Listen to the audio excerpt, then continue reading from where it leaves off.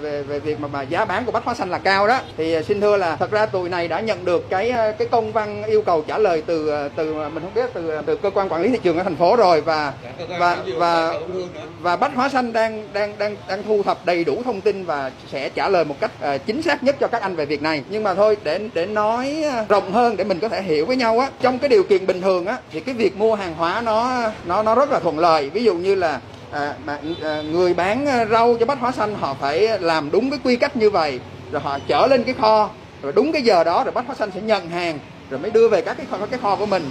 Nhưng mà trong cái điều kiện này á nó không chỉ là cái việc là người ta bán và người ta tăng giá mà nói thẳng thắn luôn là bây giờ họ bình thường là 8 giờ họ đến thế thì bây giờ họ có trễ hơn 2 tiếng đồng hồ thì cũng phải nán lại đến mà đợi họ.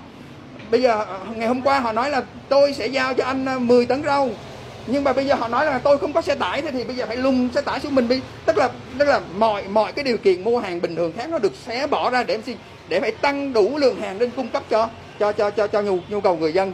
Đó, thế thì à, nói một cách thẳng thắn rằng là, hỏi rằng là giá bán của bó rau của bách hóa xanh ngày hôm nay nó có nó có cao hơn bách hóa xanh trước dịch không? Điều đó là có, được chưa? Nhưng mà nhưng mà đối với bách hóa xanh á, thì chúng tôi cam kết một điều như vậy. Nếu chúng tôi nói rằng là chúng tôi bán rau với giá 20 ngàn thì khách hàng đi ra sẽ có bó rau 20 ngàn để mua. Nếu chúng tôi nói chúng tôi bán cà chua với giá 30 ngàn, thì khách hàng đi ra shop và có cà chua 30 ngàn để mua.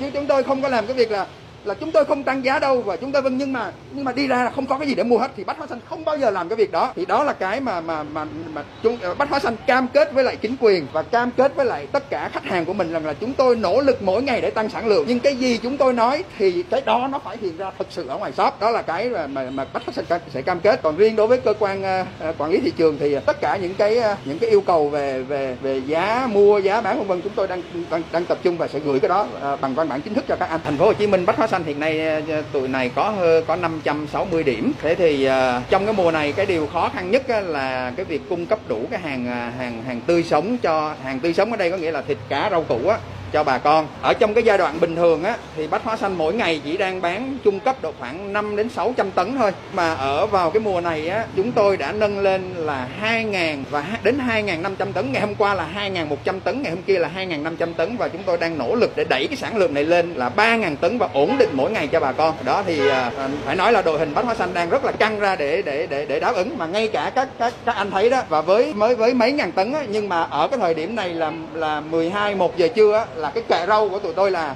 là nó trống rồi. Đó thành thử là phải nỗ lực để bằng một cách để phải tăng lên đó là, là, là, tăng tăng cái cung cấp lên.